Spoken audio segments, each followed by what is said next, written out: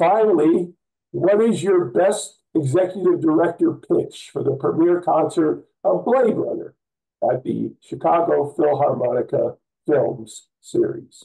I would say my best pitch is if you want to be fully immersed in the amazing sound of a live ensemble with your favorite films, then this is the place to be. If you want to see um, the the the amazing Tim Burton film with the Danny Elfman score for Batman 1989 in April, um, that I know that's a beloved film to so many, but to have that rich score, have the walls shaking of the auditorium theater with the score live. Uh, if you want to see your, you know, Blade Runner, who I know so many people love that film, and um, this is your opportunity. And and so and also just to support local um, musicians and, and to support our local music ecosystem. So I and you'll see me, and I can't wait to welcome you.